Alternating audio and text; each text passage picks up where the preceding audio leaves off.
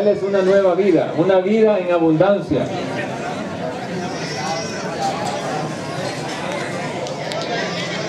Y nos ha llamado, hermano, nos ha llamado Jesucristo para que salgamos de la oscuridad. ¿Y la oscuridad qué es? La oscuridad es un lugar donde nos queremos esconder, porque el enemigo viene a condenarnos. Nos trae culpabilidad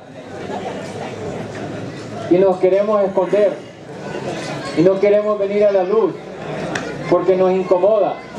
Pero Jesucristo nos está llamando a entrar a su luz maravillosa, dice la palabra.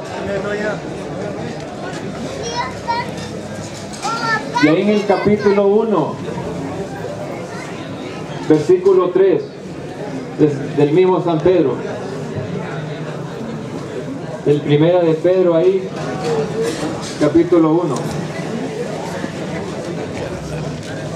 versículo 3. Y dice, alabamos, alabemos al Dios y Padre de nuestro Jesucristo, que por su gran misericordia nos ha hecho nacer de nuevo. ¿Cuántos de ustedes quieren volver a nacer de nuevo? Y no estoy hablando de un nacimiento físico, sino que el nacimiento nuevo que trae Jesucristo es el bautizo del Espíritu Santo que viene sobre nosotros. Y es cuando nosotros decidimos, hacemos la decisión. Y no es emoción, hermanos. Aquí no les vengo a, a predicar emoción, porque esa emoción no perdura, sino que aquí directamente de la Biblia, para que sea una decisión concreta, para que sea una decisión real. Y no les voy a decir que no va a haber sufrimiento.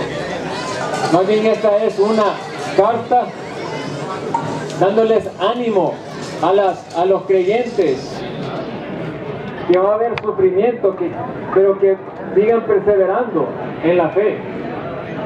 Y la vida de, un creyente es perseverancia, aunque hayan dificultades, porque es durante esas dificultades que, nosotros, se nos prueba nuestra fe que realmente Dios puede ver si realmente estamos con Él o no. Es fácil tener fe cuando las cosas están muy tranquilas, pero la fe realmente es probada cuando entramos en dificultades. ¿Y cuántos de ustedes han conocido, han leído el libro de Job? Job es un perfecto ejemplo de lo que significa perseverar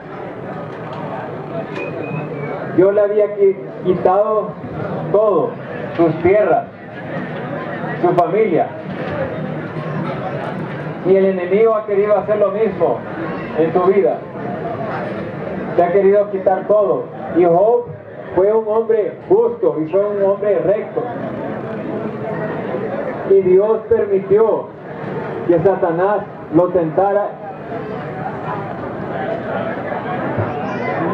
pero podemos ver por Job la fe, que aunque tuvo sufrimiento, tuvo dificultad, él perseveró.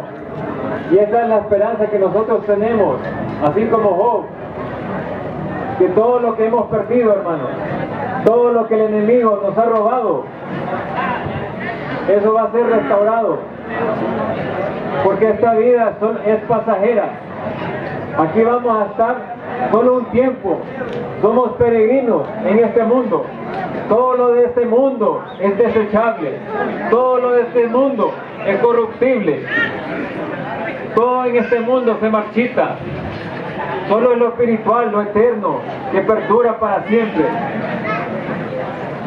Lo que es seguro. Si tú quieres seguridad, la única seguridad que tú puedes tener es entregando tu vida a Cristo. Porque esa seguridad, eso es eterno. Eso no se pierde. El enemigo, la salvación no te la puede quitar. Nada en este mundo te puede quitar esa herencia que te espera adelante. Y tú tienes la oportunidad hoy, hermano, de recibir de esta herencia que tiene preparada Dios para ti. Y estamos viviendo en los últimos días. ¿Cuántos dicen amén? ¿Cuántos lo creen? Aleluya. Gloria a Dios. Aleluya.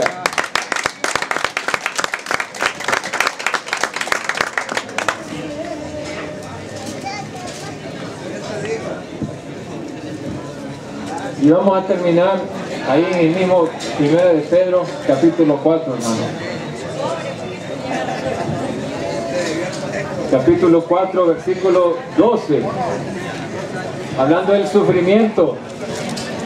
Y como creyentes, ¿cómo debemos de ser mediante el sufrimiento? Dice, queridos hermanos, no se extrañen de verse sometidos al fuego de la prueba. No se sorprendan, hermanos, cuando se encuentren en la prueba. Y esto le está diciendo a los creyentes una palabra de ánimo, a los que creen. No piensen que el sufrimiento, la prueba, sea algo fuera de lo, de lo regular, de lo normal. Como si fuera algo extraordinario. A lo contrario, alégrense de tener parte en los sufrimientos de Cristo. Cuando nosotros, hermanos, perseveramos, estamos siguiendo el ejemplo que nos dio Jesucristo. Para que también se llenen de alegría cuando su gloria se manifieste. Hermanos, escuchen, les voy a decir, yo prefiero sufrir, yo prefiero sufrir con Cristo que sufrir sin Cristo. Porque el que, el que padece dificultad sin Cristo no tiene esperanza. No hay nada por adelante. Es vacío, hermano. Escúcheme bien. El que sufre, cada uno de ustedes está sufriendo aquí adentro, hermanos.